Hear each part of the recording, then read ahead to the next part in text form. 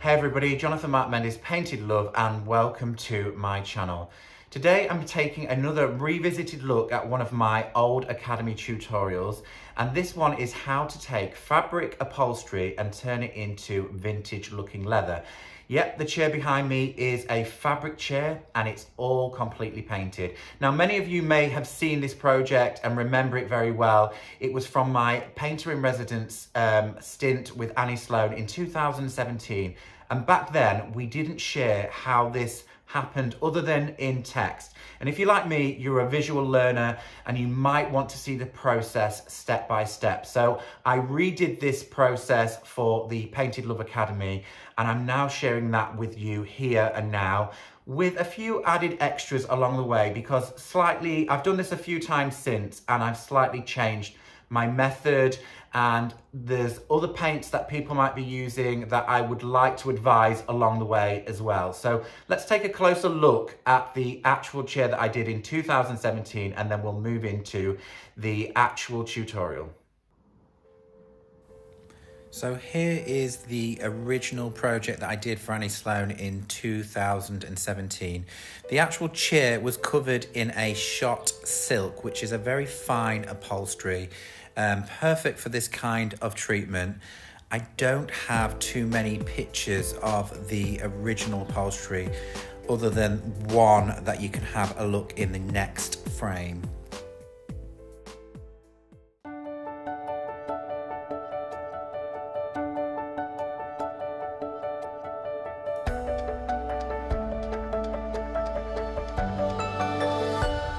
Let's dive into today's project and you will see in the video I'm leaning on a Victorian chair and the upholstery looks in fairly good nick. Now it looks good because the actual substrate is nice and firm. Now this is what you're going to need when you find your project.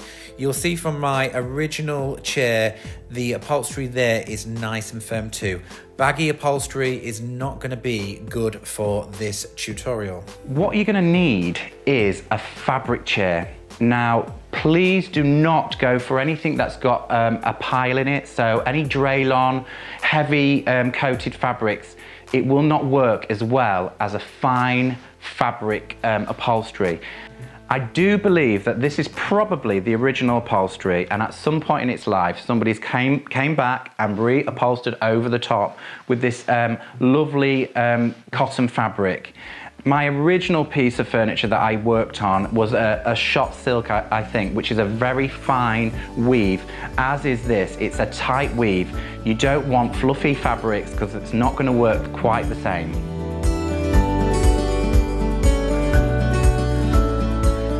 I'm super lucky with this um, chair because look how easy the upholstery comes out, which means I have freedom to paint this without touching any of the wood. And I do want to keep the wood. You may choose to paint your wooden frame as a different color. That's completely your choice. But let's go and take a look at the original upholstery so I can explain what happened there. So on this, I wasn't lucky enough to be able to remove any upholstery. So I just went with a paint finish over everything, including these upholstery tacks. All I did was paint straight up to the edges and then after the paint had dried, I just cleaned up with a damp cloth, removed any paint off the wood and You'll see when we apply the wax later, I added lots of wax into that stud finish. And then as a final flourish, I just took some gold rub and went back over the tacks. And that brought them back to their original sort of luster. So let's go back to my project. And we're gonna start with some paint. Um, it's all about colors. So let's take a look at the paint colors. So let's clear the decks. I need to remove uh, my chair because I don't want paint on my chair. So I'm going to pop this out of view and let's set up ready for the paint. I've got some card to place that on there. So here's my paint colors. I've got four cans of paint here today. I'm using Annie Sloan chalk paint. That's just my paint choice.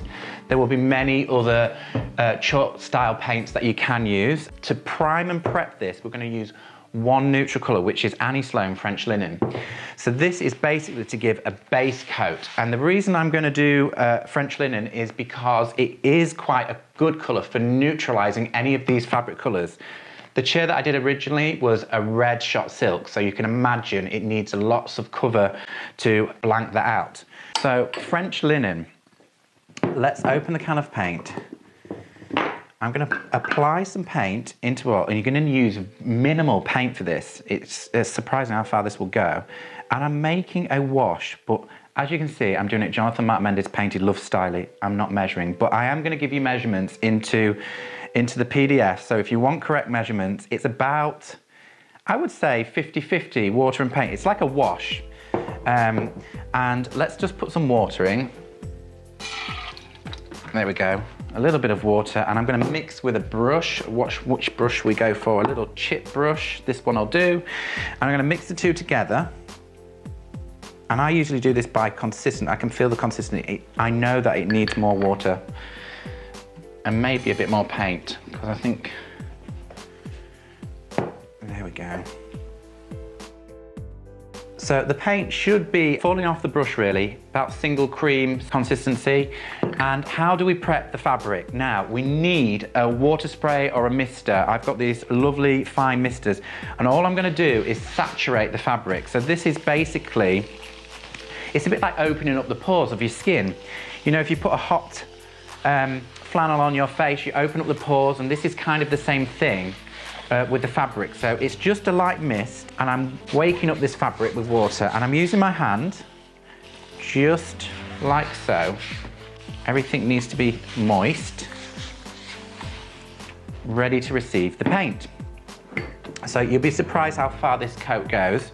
Straight on. It's really runny and it should be really runny because this first coat is basically it's dyeing the fabric. We want it to go into the pile and dye the fabric. Another reason that I'm choosing French linen is when you think about old leather, when it cracks, it comes back to a pale sort of color underneath. So that's another reason why I would be using the French linen because if it cracks, the dyed fabric will show underneath.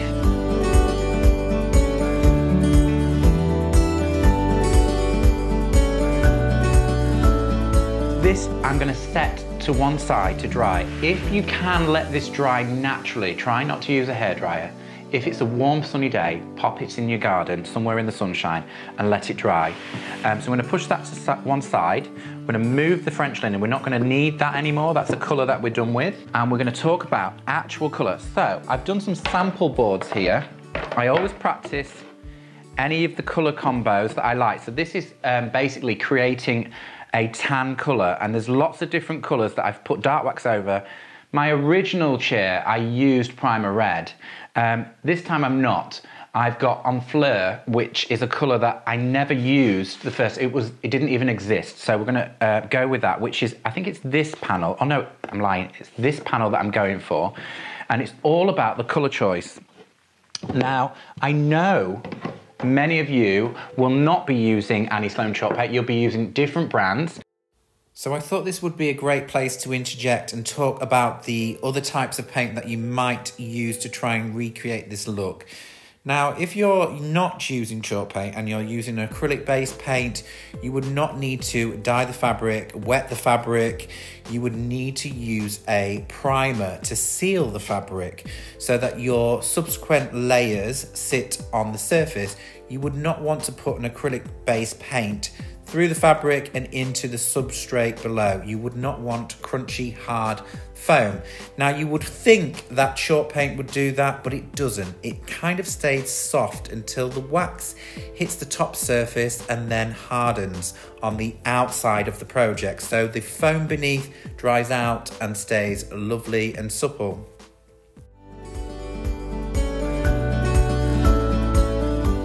So this is my tried and tested colour recipe. Um, it's a new recipe that I'm using and I'm gonna go with these three colours. I've got um, Arles, Honfleur and Barcelona Orange, which is a really rich orange. And I'm gonna keep these all out. And I found that the more Barcelona Orange, the better this looks. So I've got some spoons and I'm gonna go with four parts Barcelona orange, uh, to one of each of these, Arles and Honfleur. And it just, the warmth of the Honfleur just brings that tan colour up really nicely. So I'm just gonna mix this around. I'm using teaspoons. This is how much paint you really will need, not much at all. So one, two, three, four spoons of Barcelona orange. This is a really old can of Arles, but I'm gonna go for one heaped spoon of Arles in there. That This just lightens it a fraction, a little bit more, like so. And one small Honfleur, adds a bit more warmth to it, like so. I'm gonna mix those together and you'll see it, it makes a beautiful tan color, which is perfect for your project. I'm gonna, what I'm gonna do is I'm gonna paint a piece of paper and we can have a look at it against the white. And also we'll know I'll know if I want to add any more of the other tones. But equally this is the piece of paper that I'm going to photograph for you and you can then see in the resource section uh, an overall view of this colour. So yeah that feels good to me already. So again the colour will change dramatically once there's been dark wax on this you can see it's slightly, this one's slightly more ready. I think that's the one with the original one with um, primer red. Here we go, that's the one that we're going for. You can see it's quite a tan color, so it's quite orangey, um, but with the dark wax it changes completely. Okay, with the magic of telly, this is now dried. We left it outside for about an hour in the sunshine. It's lovely and sunny here today, so it's nice and dry, and you can hear it, it's kind of a bit crispy. And let's go back to the colour mix. We have four parts Barcelona orange uh, to one part Arles and one part uh, Honfleur. You could use a little bit more Arles if you want a paler shade. Um, so again, we've got to now, we can't use this thick paint straight over the seat cover. We've got to now water it down slightly, a little bit less than we did the first time. So we're gonna go around about 70, 30, so 30% water. But again, I'm not measuring anything. I'm just gonna go for it. So in goes some water. It's a guesstimation for me. And carefully, there's a full bowl, so I'm gonna mix this very carefully until it's all incorporated. It's a bit like making some batter slowly, slowly does it and incorporate the paint into the water. What you'll find is that the paint kind of sinks to the bottom. So you do have to make sure that this is well incorporated. So as you can see, I've got a really soupy mix, which is just about right. Remember, what I used for these colors is four parts Barcelona orange to one part Arles and one part Honfleur. You could use more Arles in this color mix, and this is the end results with the water, very runny. And all I'm gonna do is I'm gonna just slightly moisten again, not much, only a little. I'm gonna take another brush, uh, another chip brush, straight back over the, the top of this. And you can see it's really, can you see how soupy it is and it's runny? The trick is with this is fine layers, not heavy, thick layers, because if you use heavy, thick layers, you're gonna get crunchy and it's gonna break up. So fine layers and build them up. It's all about layer after layer after layer. And we're gonna build up the thickness of the paint each time. Also, my fabric has got a slight chevron in the texture of the fabric. It's also really nice to go across the grain of that fabric because then you're filling those little holes in the fabric.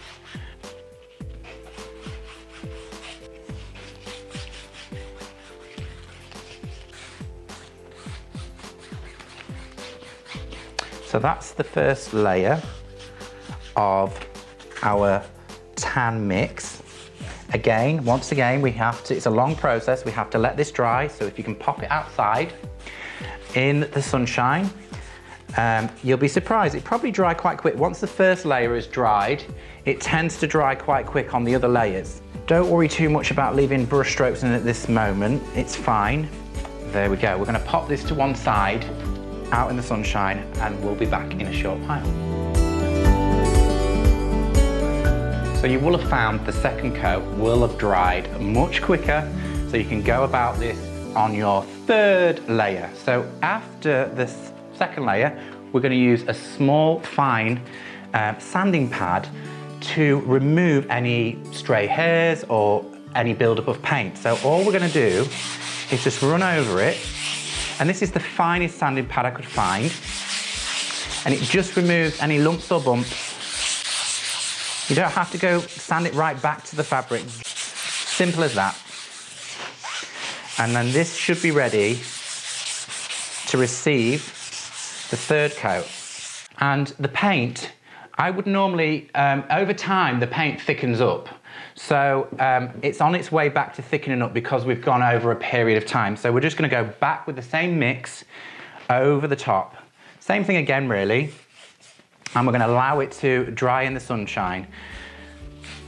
So if you've got brush strokes um, in it from the first layer, try and go the opposite way with your paint to those brush strokes and it will fill those gaps.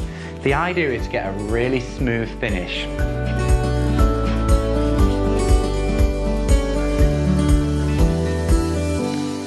So whilst I'm waiting for this layer to dry, I'm gonna grab myself another cup of tea and I'm gonna go see my friend. He's meowing at the door, you may have caught him earlier on, and I'm gonna give him his drink of milk. Thomas is a, a cat that comes and visits me every day in the workshop. I don't know who he belongs to, but he's really friendly.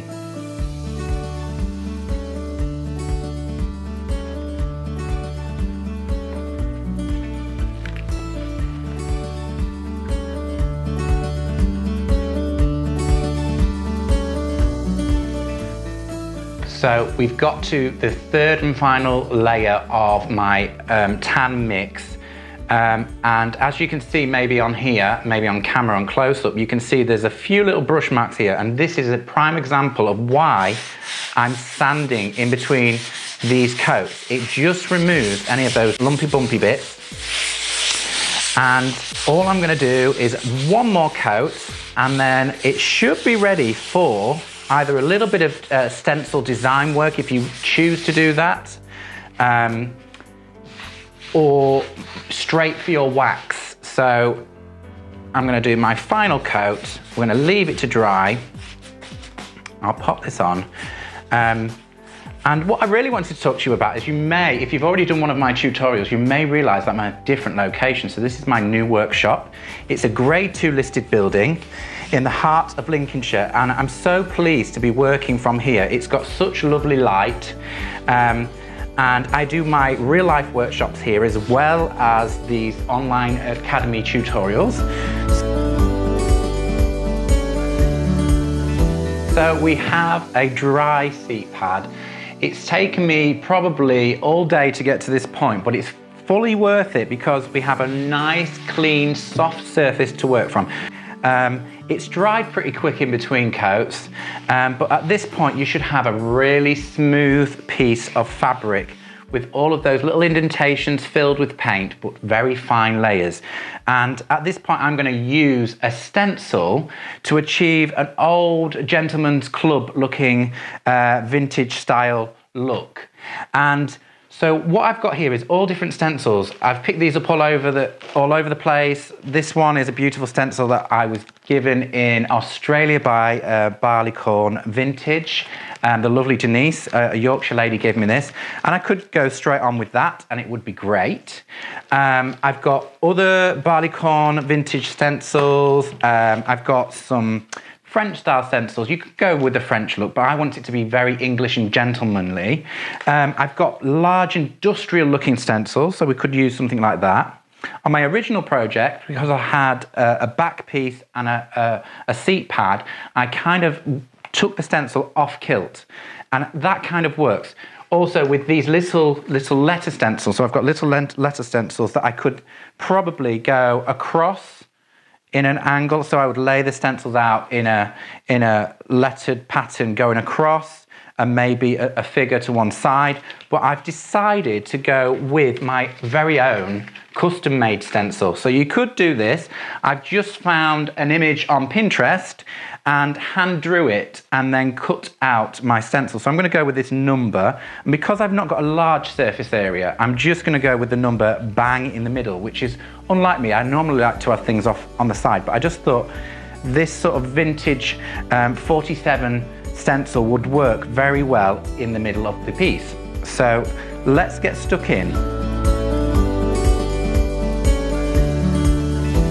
All I'm gonna do with this stencil, as you can see, this is, you can maybe see in close up, this is my hand drawn stencil. And I've done it on a, a slightly, it's not quite cardboard, but it's kind of flexible because the cushion's rounded. So we need to have a little bit of flex in it. And the thing is about a handmade stencil, it's kind of a one-time thing only. You've got to be very careful. And I've decided to use some masking tape to keep it in place. But what I am going to do is I'm just going to use my t-shirt to remove a little bit of the stickiness because I don't want it to damage my paintwork. So once in place, I'm going to, it's just so this does not shift um, and it's quite flimsy, my stencil, so when I get to these areas, I'm gonna have to be really super careful. But if we get a little bit of bleed, nah, I'm not gonna worry about it. It's meant to look vintage. It's gonna have, I want it to look like it has been stenciled. So if we get a little bit of that, that's fair enough. There we go. Just, it's just merely just to hold that into place. And as I stencil around, I'm gonna keep my fingers close to the edges so we get a nice crisp finish. So I'm going to use a little bit of black, some Annie Sloan graphite, and I've got some small tin, and all I'm going to do is dip the paint into the brush into the paint, and I'm going to offload, and I'm going to do a stipple motion with this because I know that pouncing will make sure that it, it basically doesn't give me any bleed. And I'm not worrying, I'm just going to take my time into the finer details and stipple it down like so. It's a bit of a process. These, these long areas are gonna be the, the most difficult, so hold where you can, hold down. It's gonna be, don't worry about your fingers. If you're gonna get your fingers covered in paint, that's fine. But take your time over this. Of course, there's many other products out there that you could use stencil-wise. You could maybe even try some of the IOD um, rubber stamps, they might work out quite well for design. Any way that you can do this.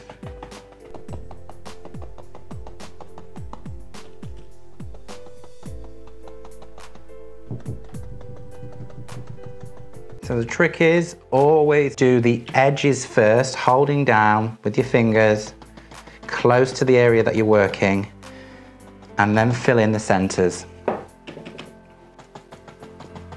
Like so, we can go and fill in that area, offload, and we should have a nice crisp stencil. Any bits we've missed, but I'm not gonna worry about that because we're gonna have lots of dark wax on there. So we're gonna do a little bit of a reveal. We'll remove these, gently does it. Don't wanna pull all of your paintwork off. Like so. We'll do the back one. I might get another use out of my hand cut stencil, like so, and see how crisp we got this. There we go. I'm happy with that. Just leave it to dry and then we'll get on with the waxing. So the stenciling really should not take long to dry, but make sure it's good and proper dry anyway. And we're gonna bring back my trusty bit of cardboard for doing the waxing. Um, I'm going to place that in the center of there. And really all we need now is a clear wax and a dark wax. Now, there's still a softness to this. It shouldn't be all crunchy and hard. There should, should still be a bit of flex. But what you will find is you will find with the clear and dark wax, it becomes more supple and more leather-like. So we're gonna apply the first coat of clear wax. I've got my trusty wax brush and we're gonna give it one light coat all over the surface and then buff it off and apply the dark coats, which really will make it look like vintage leather. So just simply pushing the wax in. It shouldn't need too much wax to be pushed in, to be fair, because you will have worked most of the grain out of the fabric with those three layers of paint, or four layers if you count the French linen. You may need more if you've got a different type of fab fabric, but you'll work that out as you go through the process yourself. What you find is the colours with the wax get a little bit sharper. I will make sure I get all of the sides. And already I can feel it feels more leather-like straight away. It's amazing what the wax does to the paint. Remember this look, don't go and paint your granny's antique sofa. It really is a cosmetic look, but it does withstand an awful lot. My chair's been going really well, but it really should be all about the finished look. You can sit on it, it'll be very happily sat on it, but anything sharp might dig in and just be careful of that. But if it does, apply more dark wax, the, the, the better it looks. As far as I'm concerned, the better the finish will be over time. There we go. All I'm gonna do is make sure that there's no excess wax sat on the surface, but be careful if you, ladies, if you've got long nails, you don't want to be digging in at this point because the paint and the wax, it is still a little bit unstable until it's had chance to cure. So try and keep your nails away from anywhere where you might scrape into your, into your paintwork. Treat it like you would furniture. When you've painted furniture, it's exactly the same thing, but the wax really does help the flexibility come back to the upholstery. So as you can see, I'm almost like burnishing it. I want to push the clear wax deep into the fabric as well before it receives its dark wax. So as you keep on rubbing this wax into the paintwork, what you'll find is, I don't know if you can see that quite on the camera, but it softens, absolutely softens the, the texture, it almost feels like a real leather. So hopefully you'll see that on the camera, how it's softened. It's not cracking at all. It's got a real lovely, soft feel to it. So it's still gonna be very comfortable to sit on. So onwards to the dark wax. Now, the dark wax, I'm gonna use the same brush. And what I'm gonna do, loose hairs there, I'm gonna literally apply the dark wax. I'm gonna get a healthy amount of wax here all over my brush and just literally very heavily everything needs to be covered. Don't worry about being messy.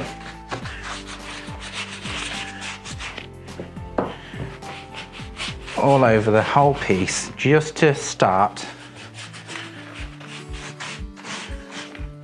try not to miss anywhere now, it depends on how heavy or light you want to do this. You could do one coat, leave it a day and add, add some more if you fancy a little bit more. Um, I'm gonna work it and you'll see how I choose once I've worked this in. Instantly, old leather. I'm gonna take some off. I'm gonna allow it to be I'm just using my cloth as a tool and I'm going to leave certain areas where darker on the corners. I'm going to take the central area where it might have faded and leave it sort of, there's a stray hair, we can move that. But what I really like to do, I think that's good for the center part, I'm going to dip back into my wax and all I did with mine was stipple towards the edges. Now this is good if you've got those studded areas, you can push the wax deep into those studded areas and it will hide that paint connection. So it's a little bit of a stubbling, stippling with, with your wax brush or a chip brush. Any old brush will do this. Natural bristles is really good. I'm gonna lift up so I can get along that bottom edge. Just adds a bit of a darkness. So leather is kind of shaded and we're using the dark wax to shade. And I might come a little bit up here.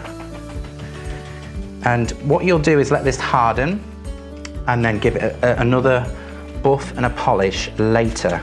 So you need some of this wax to harden a little bit. But play around with your wax. It's treat it like a paint almost. Lift up these sides. Think sort of cloud-like.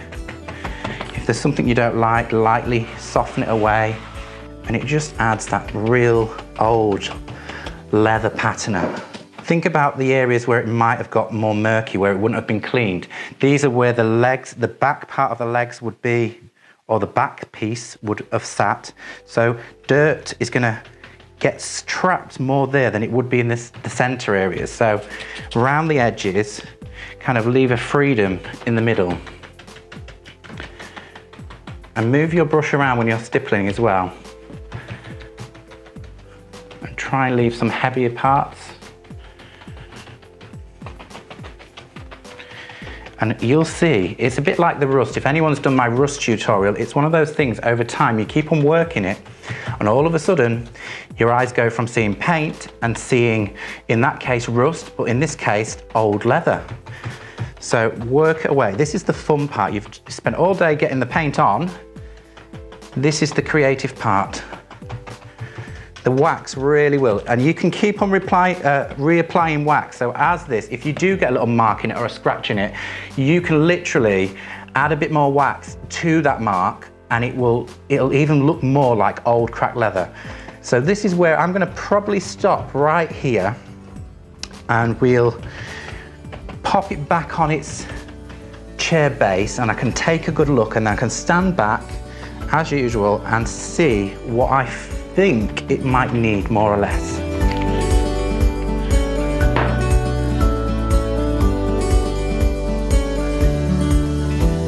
Let's marry the two back together. Um, let's put it back into its Victorian. That's it. It's a bit tight and I'm gonna go for a little bit more wax in its position. This gives you a chance to be able to look at what you've done I'm happy with that. A bit more on the corners. And also what you can do is you can freshen up the original piece with some more dark wax. So if you're keeping the wood, the wax will really freshen up the original. If you've got any scrapes or little bits missing, like so.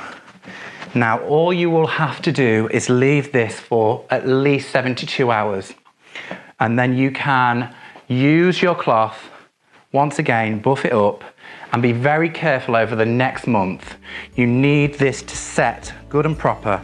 I wouldn't be sitting on it in the first couple of weeks at least. Keep it as a decorative item and enjoy your leather look chair.